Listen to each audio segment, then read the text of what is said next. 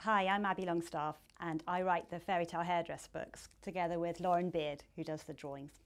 Um, this is our new one, The Fairy Tale Hairdresser and the Little Mermaid. Um, it's another story about the adventurous Kitty Lacey and how she manages to fix all the world's problems.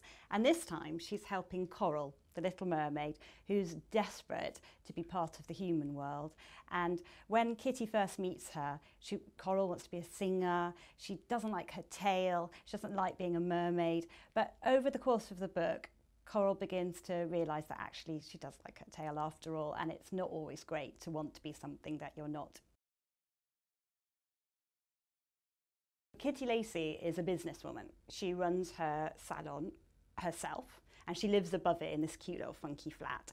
And she's kind of at the heart of the community. She's a bit of a fixer, an organiser. She's really adventurous and brave. She doesn't mind going underwater with diving outfits, chasing down wicked witches in caves or, or fighting evil queens who are up to no good. She's, she's a real adventure girl and she likes to solve all kinds of problems. And people come to see her for comfort, for friendship, but also to fix things in their lives.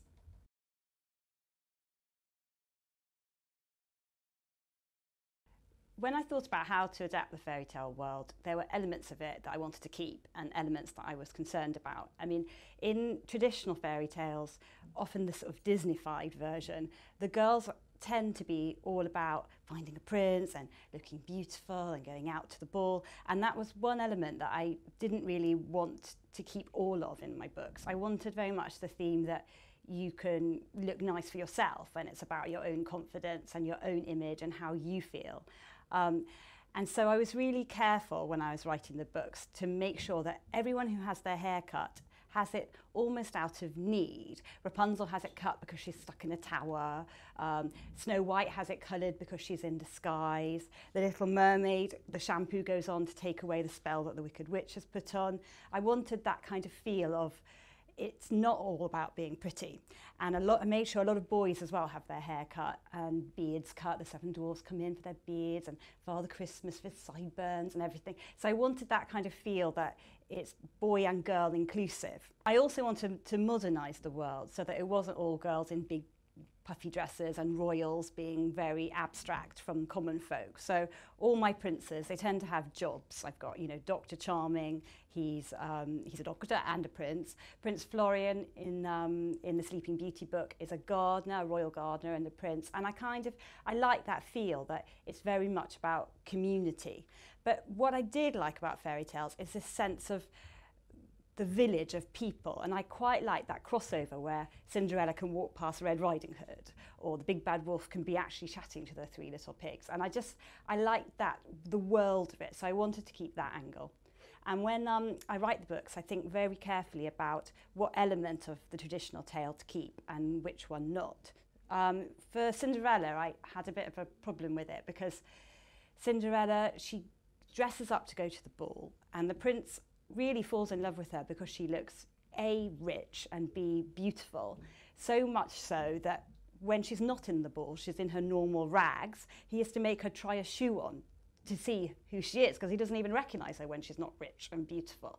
And that was an element I really wanted to lose. So I thought hard about trying to find a way to make Cinderella go to the ball and, and meet the prince without all the kind of doing up.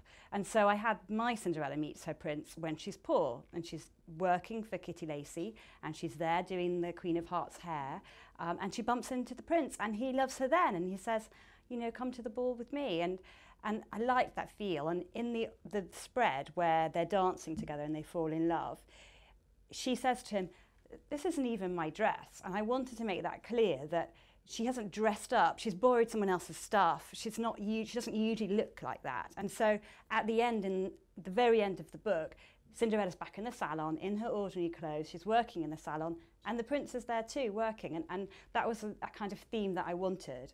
So I'm going to read you the first few pages just to give you a sneak peek.